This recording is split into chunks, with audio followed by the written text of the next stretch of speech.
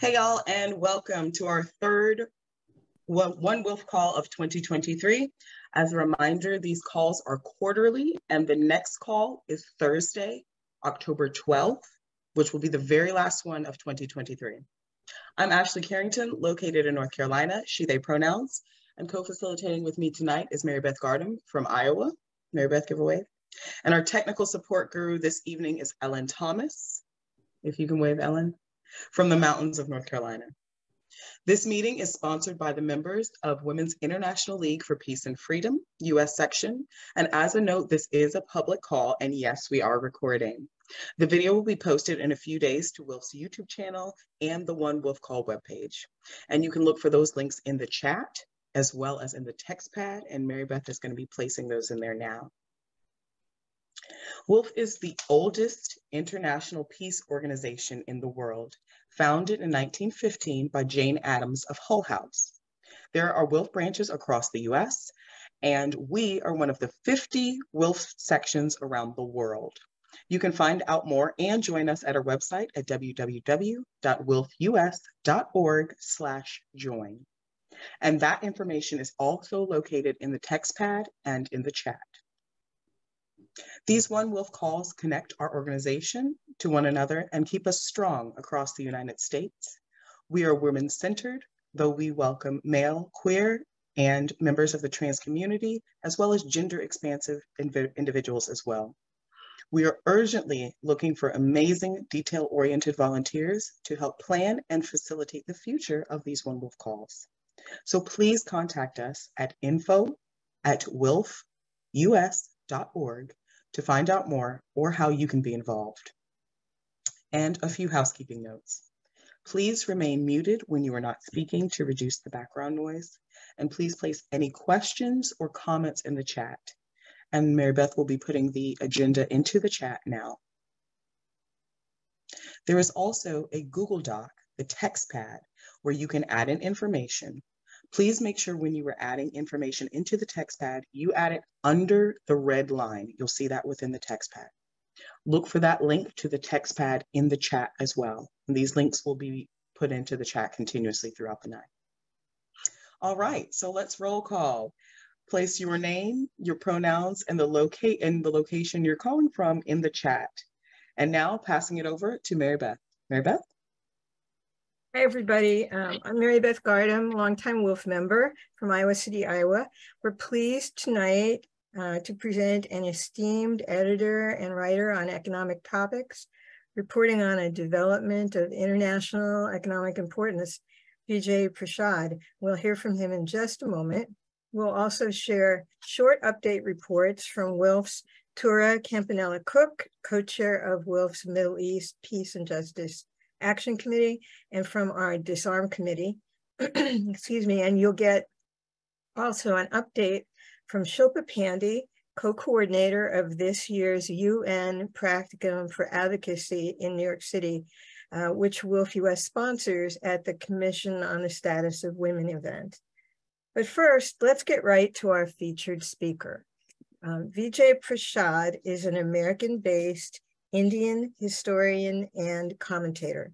He is executive director of the Tricontinental Institute for Social Research, the chief editor of LeftWord Books, and a senior non-resident fellow at Chongyang Institute for Financial Studies, Renmin University of China. Mr. Prashad was the George and Martha Kellner Chair in South Asian History and a professor of international studies at Trinity College in Hartford, Connecticut from 1996 to 2017.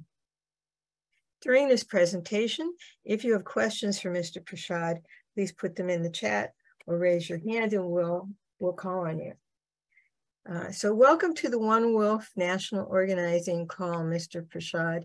Recently, your article in Popular Resistance captured our attention because of the striking comparison you made between economic and debt policy at the World Bank and the new, more people-centered policies of the new development bank or the BRICS Bank.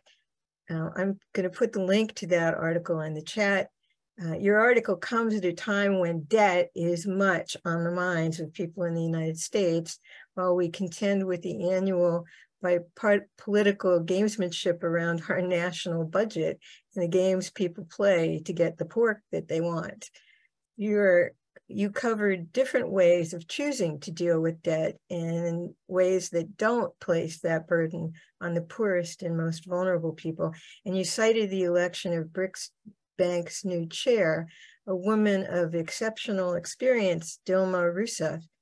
Please tell us the significance of Ms. Rousseff's election and how her anti-debt stance may offer hope uh, for global poverty and anything else you want to tell us. Well, firstly, it's tre- tremendous honor to be with you. Um, you know, uh, you are a stalwart in attempting to build peace in the world, the very opposite of your own government um, and most of the media. I mean, the Wall Street Journal, just as an example, just carried a story about, you know, a Chinese spy base being built in Cuba. Hours later, after the Wall Street Journal's really quite remarkable story, even the Pentagon had to deny the story.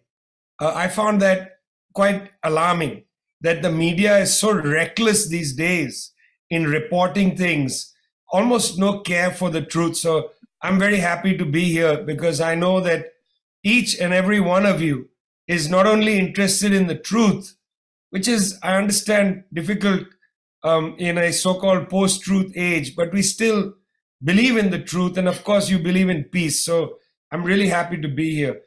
Um, before I get to your question about Dilma Rousseff, a quite remarkable woman, I want to talk a little bit about development, just to put this in context.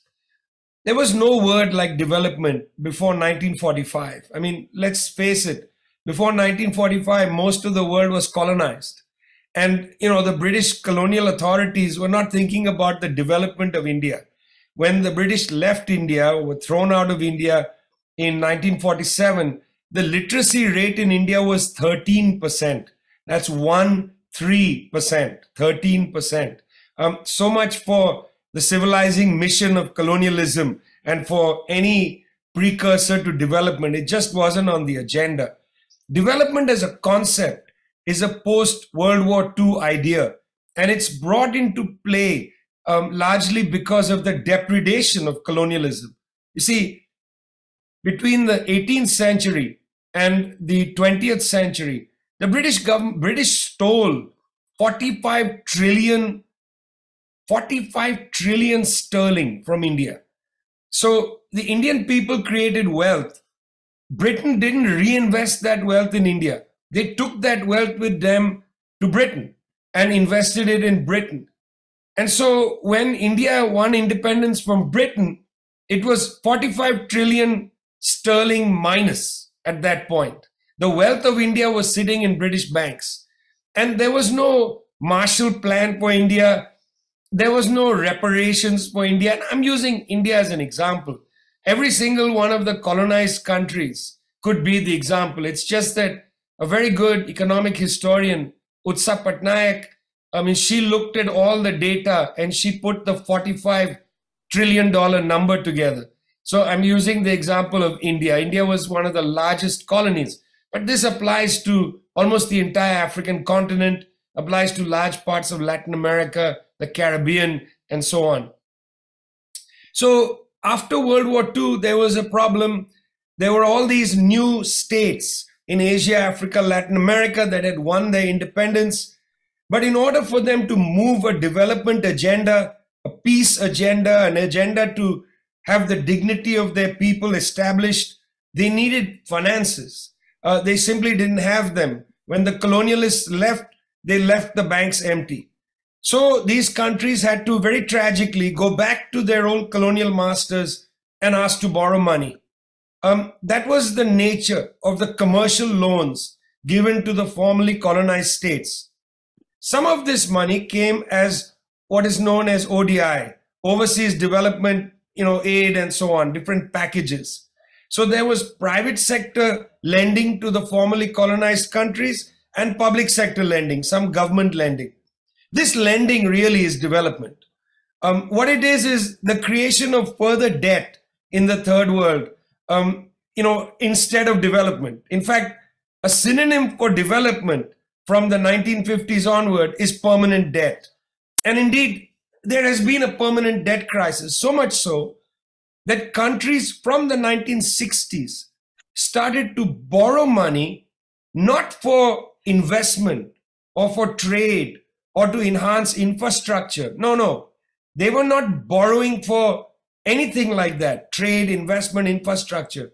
They were borrowing to service the previous debt. In other words, if they had taken a $10 million debt in year one, in year two, they had to pay, let's say, $2.5 million as the interest on the debt. So now they had to borrow $2.5 million to pay off the interest on a $10 million debt. Guess what? By year three, they had a debt of 12.5 million. So now they had to borrow $3 million to pay off the debt servicing, the interest on the 12.5 million quite usurious rates of debt. And you can do this calculation, it's pretty simple.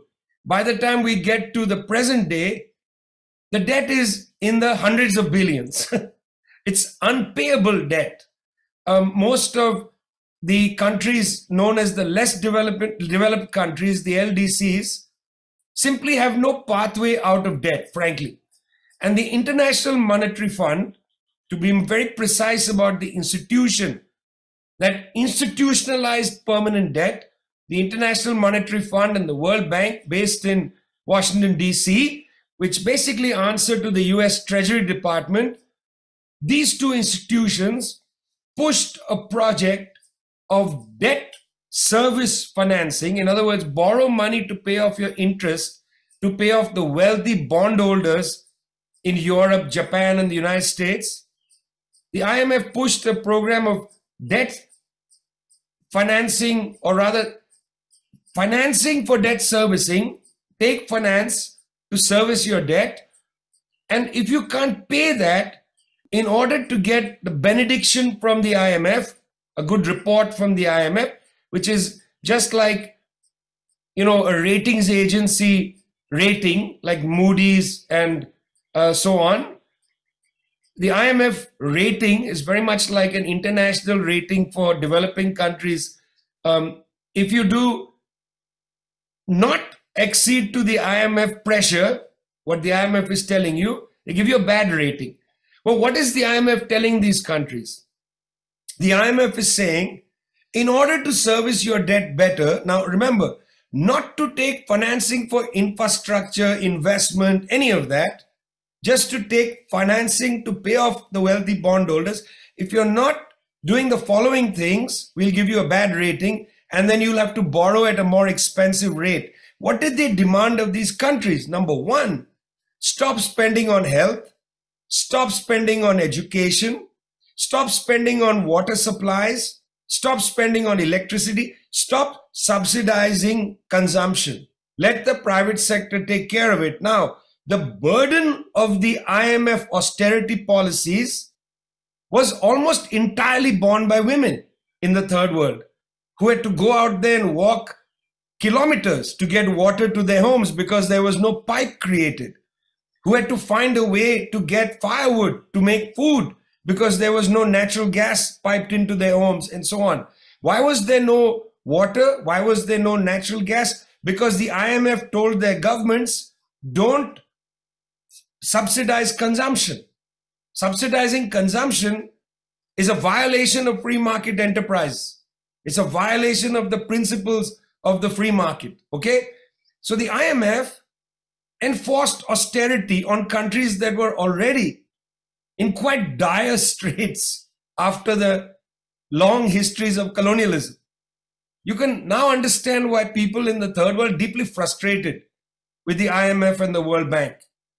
None of them ever from 1944, from when they were formed in Bretton Woods, New Hampshire, neither the World Bank nor the International Monetary Fund at any moment actually moved an agenda for genuine improvement of the condition of life of the vast majority of the people.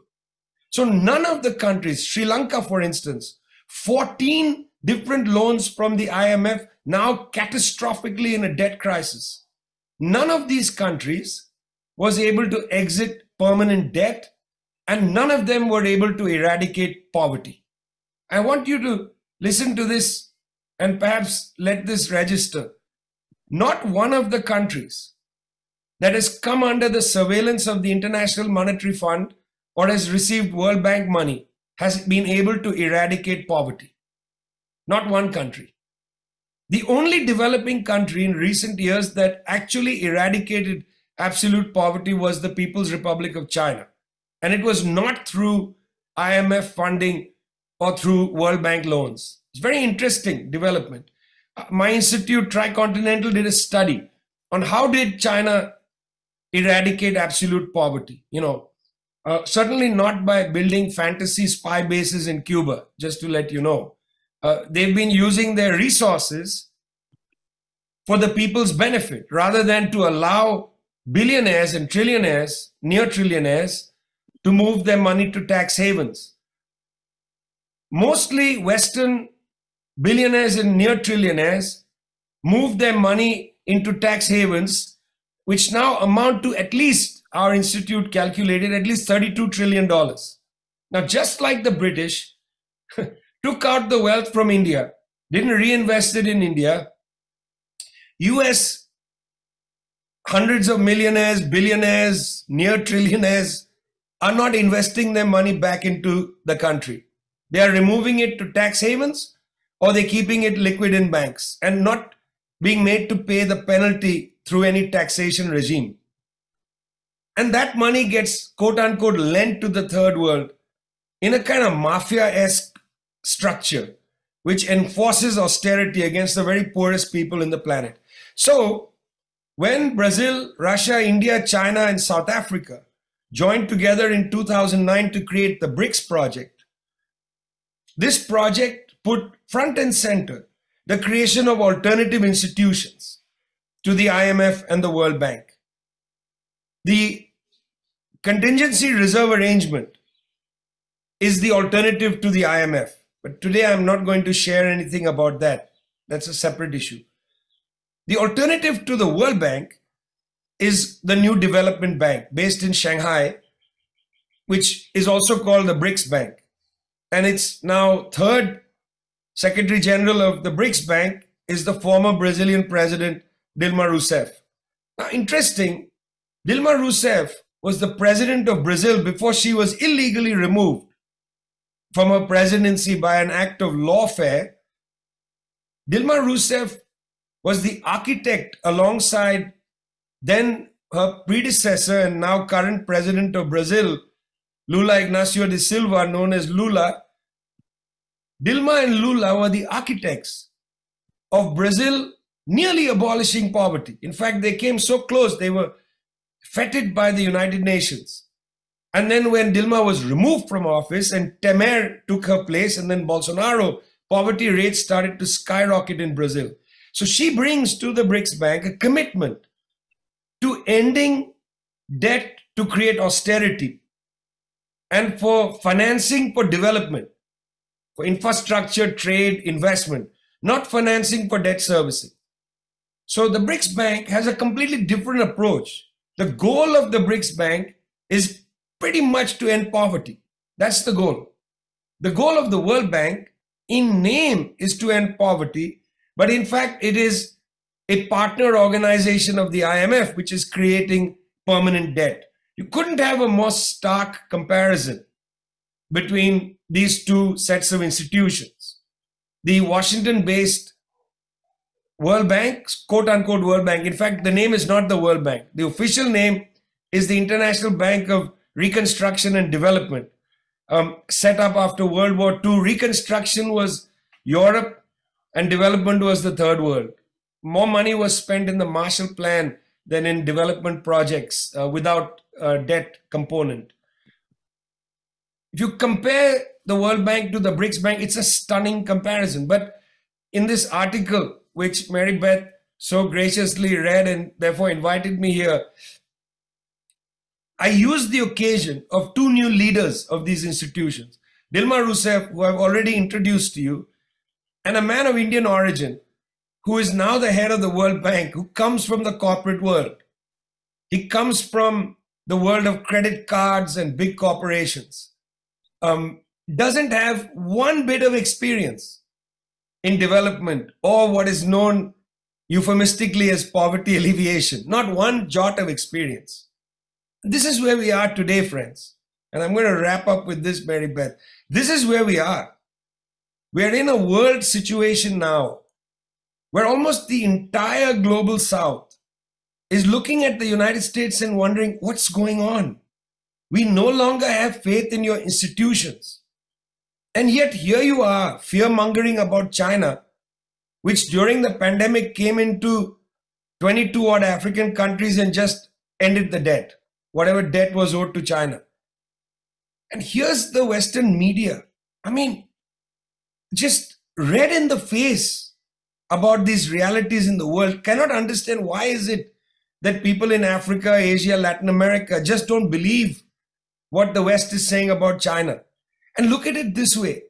Anytime I talk like this, Mary Beth, anytime I talk like this, somebody will say, oh, you're paid by the Chinese government. In fact, my fellowship at Renmin University is unpaid. I, I don't get any money from the Chinese government. I would like to believe that these are things I actually believe. I don't need to be paid to say them.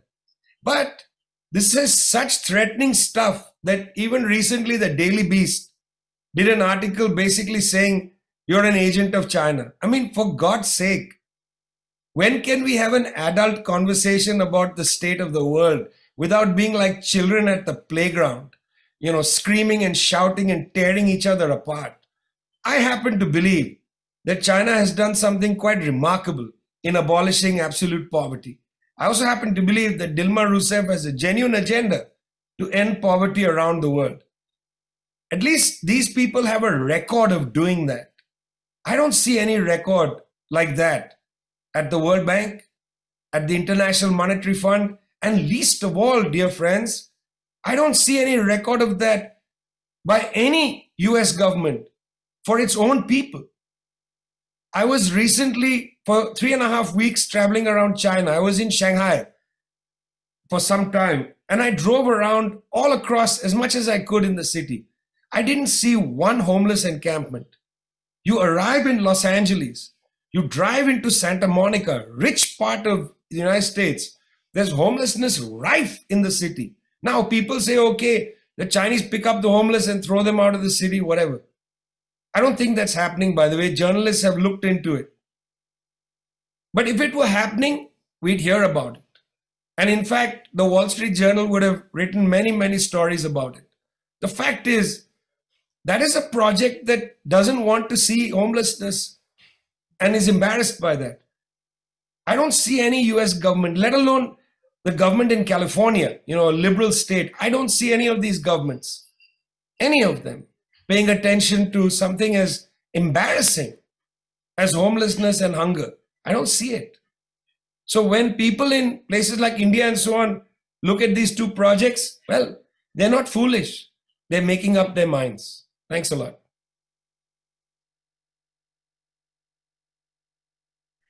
This monthly call uh, has been going on for a number of years. Uh, it was monthly, now it's quarterly. And in the past, we had an excellent speaker and historian uh, from Africa who told a similar story, Maurice Carney, and I put the link to that recording in the chat.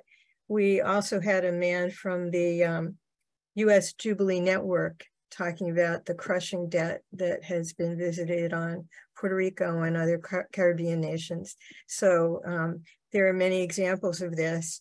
Uh, our committee, Women, Money, and Democracy, has been studying the uh, oppressive nature of debt and the fact that it keeps us as a people, as a nation, as, as a species, from being the people we were meant to be, from, uh, from using the qualities and values that we're naturally drawn to generosity, empathy, all of those things, um, because um, debt makes us so um, afraid.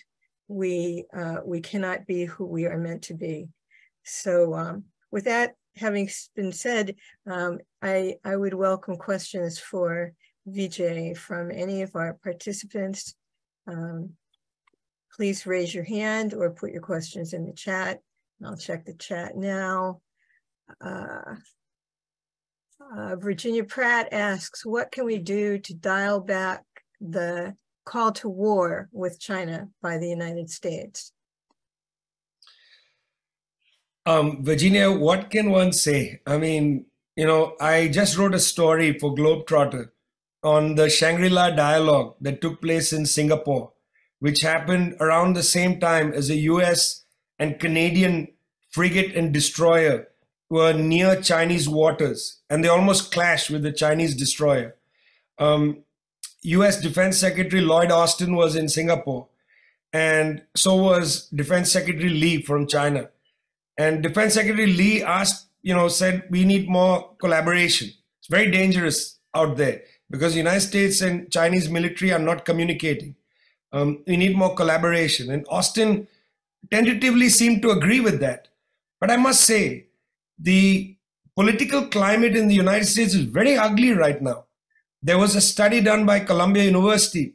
Some majority of Asian Americans report hate crime incidents because of the anti China sentiment that has been rising in the United States, similar to what happened to people who look like Arabs and Arabs themselves after 9 11.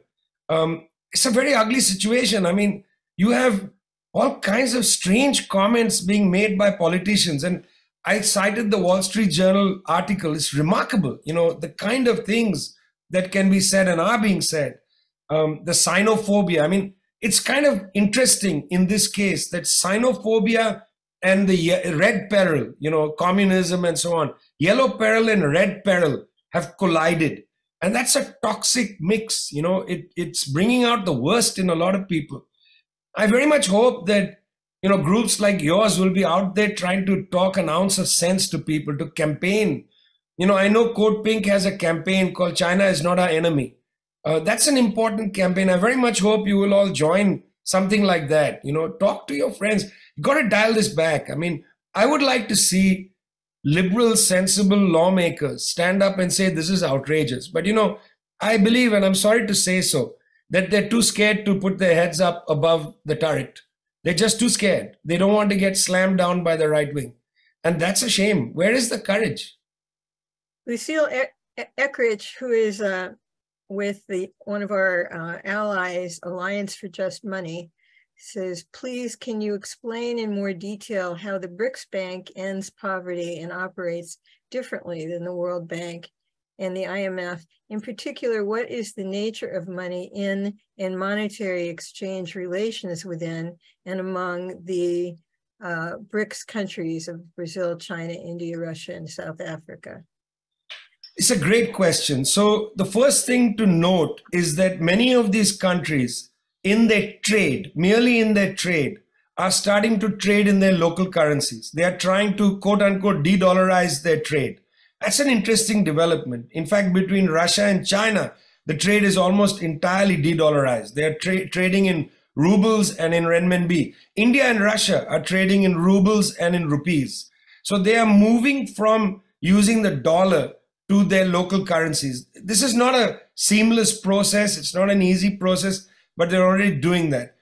The interesting thing about the um, BRICS Bank lending, the idea that Dilma Rousseff has been entertaining is to lend more directly on investment projects that are going to help build the capacity of countries, you know, build roads, build schools, build hospitals, things like that.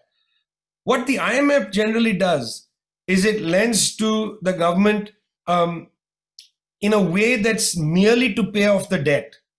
The BRICS is trying to say we are not going to actually lend to pay off debt. We're going to lend to do infrastructure projects. I think that's an interesting thing. Their lending is going to be tied lending. It's going to be for projects that are valuable and useful for the people. Now, how is a country to pay off the debt? And here, I think you play a big role. You know, movements in United States, in Europe, perhaps in Japan, that we have to insist as well that wealthy bondholders in the rich countries should take a ma- major haircut they should no longer be able to get payment for those loans, which in many cases were odious loans, you know, colonial loans or loans to dictatorships and so on. We should demand the abolition of a lot of these debts. For instance, just take one example, and I don't know, uh, Mary Beth, if your previous guest from Jubilee took the example of Haiti, but it is obscene that US banks continue to take interest payments from Haiti. It's obscene. I mean, that's just an obscenity. You know, the United States should never have purchased the indemnity that the French enforced on the Haitian people. That was Chase Manhattan Bank. You know, th- these rich banks, these rich investment companies like BlackRock and so on, use their political power to prevent poor countries from demanding a haircut on their loans. And therefore, most of these countries, many of them, in fact, more than half of the African states paid more to service their debt during the pandemic than they paid on their health care. That was during the pandemic. And who were they paying that money to? Wealthy bondholders in the United States, wealthy, wealthy bondholders in Europe and in Japan. That's unconscionable. You know, that is the responsibility of people in the North, movements in the North to lift up a campaign to end, to do a jubilee, as it were, on debt payments from these countries, at least the very poorest, but in fact, I believe everybody. 1985, Fidel Castro organized a conference in Havana which called for complete debt moratorium. Nobody listened to him. He was always worth listening to. Um, Judith Hand asks, how do the efforts of the United Nations to end poverty fit into the picture? Well, Judith, that's a great question. And I must say, the United Nations is many things to many people. One of the things the United Nations is, which we don't, you know, get enough information about, are the agencies of the UN, like UNICEF, UNESCO, uh, UNRWA, and so on, including FAO, World Food Program, all of these agencies. These agencies, right now, Judith, in my opinion, the last 20 years at least, but right now, particularly, are expressly committed to preventing mass starvation. So, for instance, World Food Program, Food and Agricultural Organization, they are not, they don't have a development project. Firstly, they're grossly underfunded. And secondly, they are just airlifting food. Right now, the World Food Program and FAO released a document saying there are 18 hotspots on the planet where there is absolutely certainty of mass starvation, you know, including Sudan, which is in the middle of another political conflict. Um, this is ridiculous, you know, this situation. The UN cannot put forward a genuine development agenda. The one UN agency, the UN Conference on Trade and Development, UNCTAD, the United States has been trying to shut down UNCTAD ever since it was formed in 1964 under the leadership of Raul Prebisch of Argentina. I mean, the US has never tolerated the existence of UNCTAD, which calls for greater state funding to help, you know, erase the burdens on people's shoulders and so on. So when you ask what can the UN do right now, the UN is basically doing a salvage job, trying to prevent mass starvation around the world. It is not able to move a positive agenda. Trying to see if there are other, uh, if there are hands raised. I see uh, Lenny uh, Villa Gomez Reeves has her hand up. Go ahead, Lenny. Yeah, I had a couple of questions. Uh, and uh, first, I wanted to thank you for this extremely good presentation. Uh, what, what, I mean, given that the U.S. doesn't tolerate any any rivals, um, what what efforts do you think the U.S. is going to uh, take to attempt to undermine the BRICS Bank and other global South-South cooperative efforts, especially you know under Dilma, who has has a record of actually doing things. Yeah, and then the other question I wanted to ask is, do you think the BRICS Bank will have any effect? In improving the financial transaction situation, not only for Cuba, but also for other countries struggling with US sanctions and, and blockade efforts? Or is the dollar based effort, uh, I mean, nature of the international transaction situation too powerful? I mean, will the BRICS Bank be able to function outside the SWIFT banking system network, for example? So, yeah, I'd, I'd be interested. Well, Well, firstly, Lenny, very good questions. The first question Dilma Rousseff has been a left wing you know campaigner against a dictatorship in her country she was arrested and tortured brutally brutally tortured she came into politics faced a coup in 2016 but she is undaunted um, yeah. i just spent an evening with her in shanghai that woman is unbelievable you know if anybody deserves the nobel prize for resilience it's her i think there should be a nobel prize for resilience you know human resilience uh, it's a lot better than peace because we know, friends, that the Nobel Prize for Peace don't mean nothing anymore. Okay, um, look at the people who won that prize. It's a disgrace. Uh, we, you need to give a Nobel Prize or you know the Women's International League Prize for Human Resilience um, goes to Dilma Rousseff. Look, there's always a danger that the United States is going to intervene one way or the other to do something nasty. Um, I, in honor of Henry Kissinger's 100th birthday, I went back and read some of the papers, the correspondence between Kissinger and Nixon against Chile, which will face 50 years of the history of its coup this year in September. Nasty people, I must say. You read Kissinger and, and Nixon um, conspiring to overthrow the government of Salvador Allende. Nasty people, they're capable of anything. But I want to say something about that because I think those days are over. You can throw overthrow one government, the government of Evo Morales in Bolivia, but the government of Luis Arce will come back. Um, you can overthrow the government of um, of Mel Zelaya in Honduras, but the government of Xiomara Castro comes back. Very difficult now for the United States to sustain its power. It can try all it wants. It can go and destroy countries, Iraq, Afghanistan, and so on. But from each of them, it's had to withdraw without any major gain. So I feel like people in the United States need to, again, tell their neighbors and friends, got to come to terms with the fact that this is not a city on the hill. This is just another city on a plain. There are other cities. You got to learn to live on the planet as equals, not try to impose yourself as superior. So that's the answer to the first question. They'll try, Lenny, they will try, but I don't think it's going to stick this time around. And I'm interested to see what happens at the BRICS summit in August this year in South Africa? For one, the South Africans have said they'll welcome Vladimir Putin into the country. He's not going to The Hague from, um, from Cape Town, where the conference will be held. That'll be interesting. So I'm going to watch carefully what happens in August at the BRICS summit. To your second question, I think even here there are some changes afoot. Okay, um, United States has used the dollar system to suffocate Cuba has used the dollar system to suffocate Venezuela, Iran, so many countries.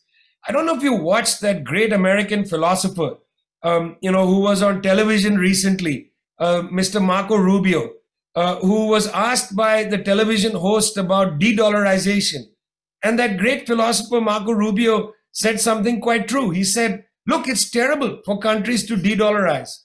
Because if they de-dollarize, he said, we won't be able to use our economic weapons against them. I thought that was a remarkable truism from that great thinker from Florida. So there you have it. The more you see de dollarization, in a way, the greater uh, you will find countries able to survive outside suffocation from the United States. Uh, Philip Cole has a question for you. Go ahead, Philip. Yes, uh, my question would be uh, China has uh, initiated the Belt and Road Initiative over the last several years. What are the successes? What are the failures of that initiative? And looking at the fact that China's taken over Sri Lanka's uh, main port due to the failure of uh, them being able to maintain the uh, constrictions of their loan, covenants of the loan to Sri Lanka. See, Philip, that's a really amazing question. Um, there's a great article that you can read in Atlantic Magazine by two American scholars about the Hambantota port in Sri Lanka that you mentioned. And why it's a good article is that it's some it's called something like you know um, busting the China debt myth or something like that. And when I read that article, I learned a lot about our problems in the world. You see, the Chinese and others did a study of the feasibility of the Hambantota port in Sri Lanka. And what the Chinese and this study uh, concluded was that the Chinese should give one tranche of money. The port should be partly built and then it should open and start functioning. And as the port, port starts to make a profit, then they can take more of the tranche of money, a second tranche, and expand the port. Well, the Sri Lankan said, no, we want all the money in one go, which was catastrophic. So they took the loan in one go and they found themselves in a real hole. And they had been warned about that by the Chinese as well. Chinese said, we don't want to give you the money. Sri Lankan government said, no, we want it all in one go. That's in the article in the Atlantic magazine. That's not an article in China Daily. It's not made up by somebody in the Chinese government. That's two US scholars who looked at this very carefully. So what I learned from that story was that our governments around the world, governments in poorer countries, in Zambia, governments in Argentina, and so on, need to have a project, need to understand how to best utilize the fact that for the first time in over 50 years, there's an alternative to the World Bank and IMF. And we need to have a project that is rational, reasonable, and well thought out, and not you know, jump into the pool of money and say, let's take it all now. Um, so I think some of the responsibility must be borne by governments of the South who have to act in a way with a circumstance, with a kind of rationality. Uh, we need to look at the possibility and feasibility of our own investments that we make and also understand that we have to invest in human beings. We have to improve our universities, improve the education system, bring in people to learn science and tech and so on. We can't be dependent on tech from elsewhere. You got to develop our own tech. So I would say, you know, one of the things that in our institute we talk a lot about is what is the project of the global south? We can't spend our whole lives complaining about the United States and the World Bank and so on. We have to have our own project. And I think that's part of what uh, the conversation I had with Dilma Rousseff is like, what is the project of the South? And should the South be encouraged to think big, but also think rationally?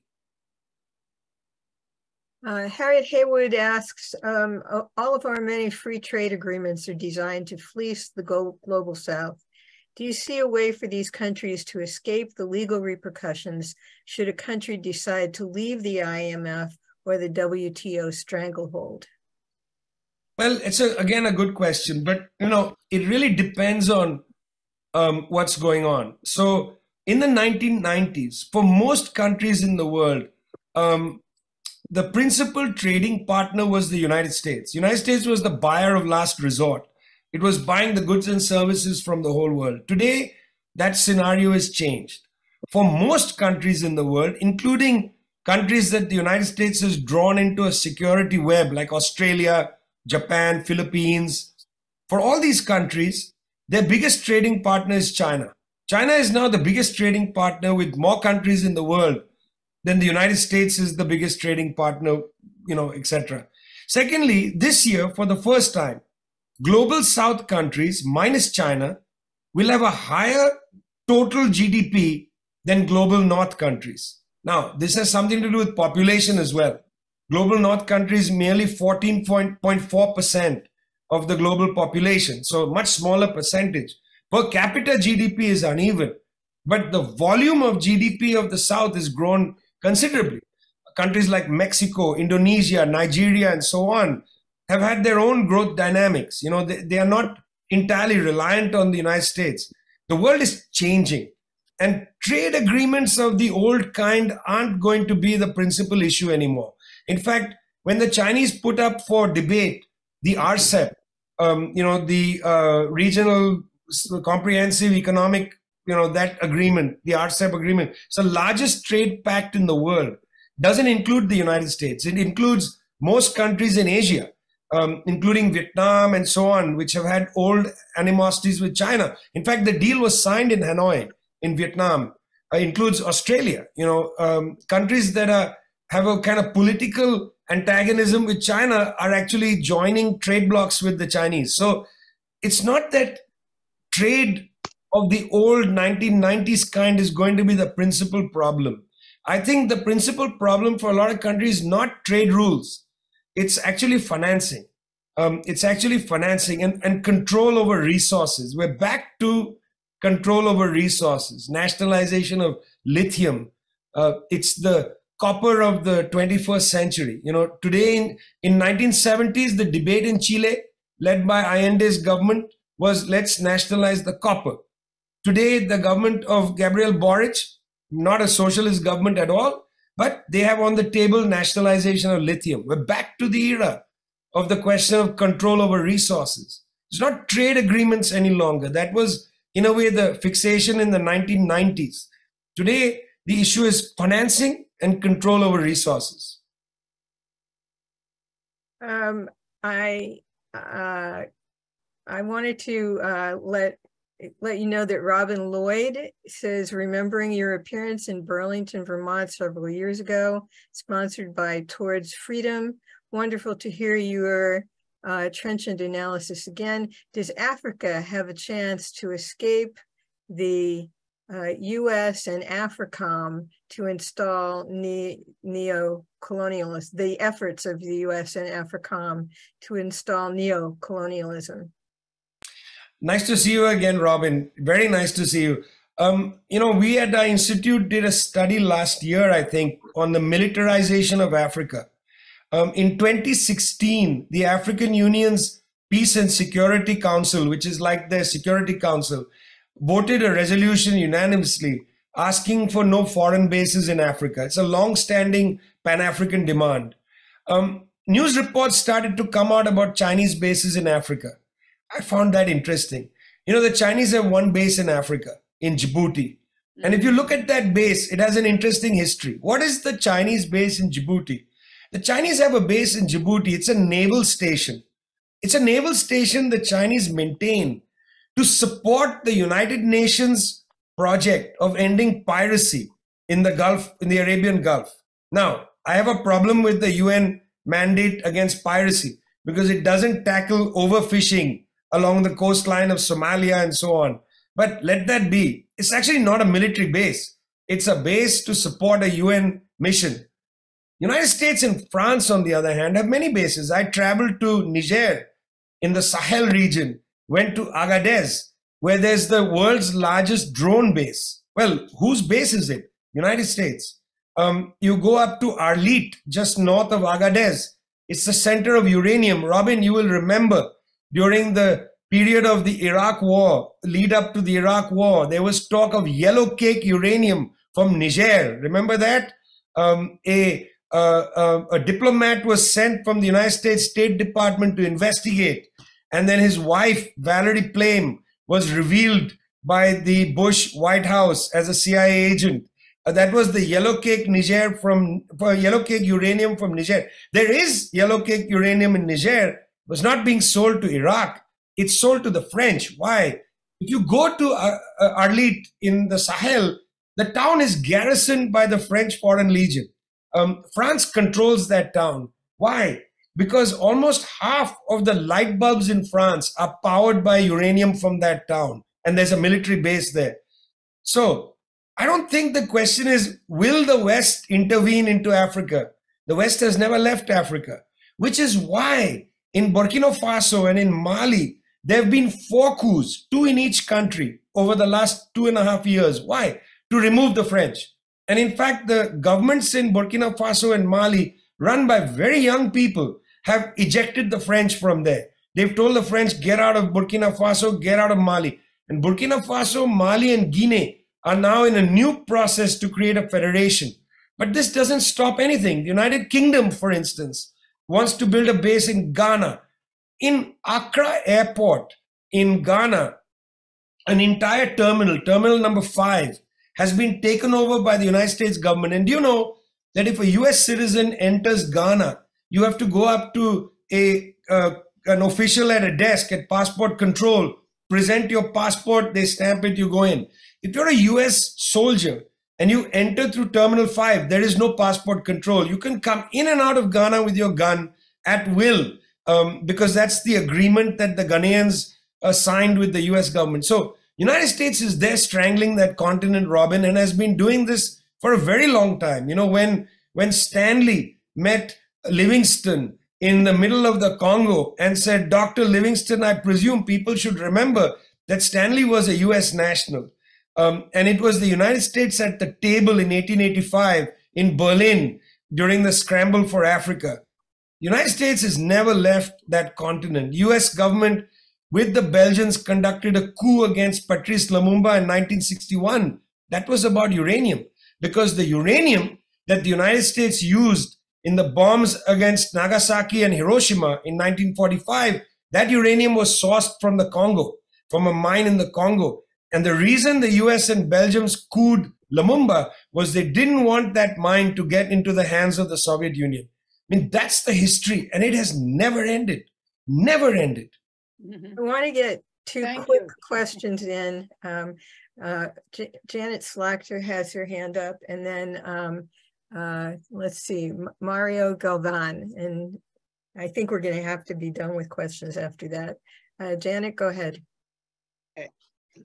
Yeah, I think, um, Vijay, that your analysis of how the IMF and World Bank work is absolutely correct and on target.